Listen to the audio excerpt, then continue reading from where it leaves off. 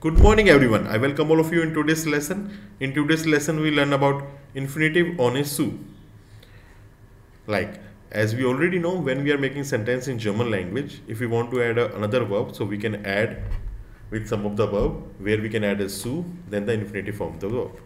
But after these verbs we normally make a sentence without adding zu. Let's see. Infinitive with or without zu.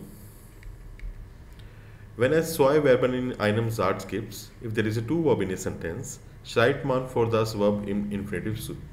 Man write before the second verb Infinitive zu. Like, er versucht, he try, eine Arbeit zu finden, to find a work.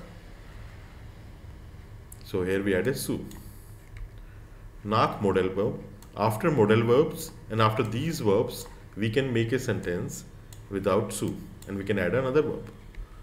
And with the helfen and lernen if we want we can add a zu. And we if we don't want we can write the sentence without zu as well and add the another verb at the end. Let's see with the example. Modal verb.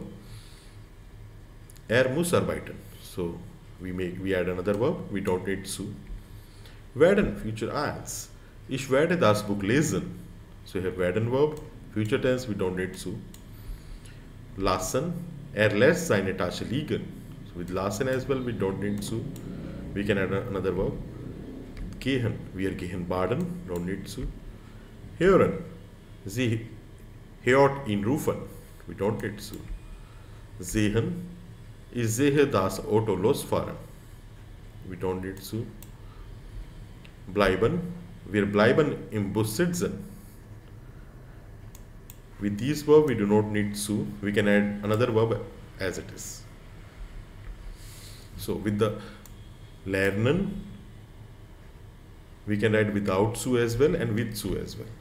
Rahul learned auto zu fahren oder auto fahren with the helfen as well we can write without zu and with zu as well.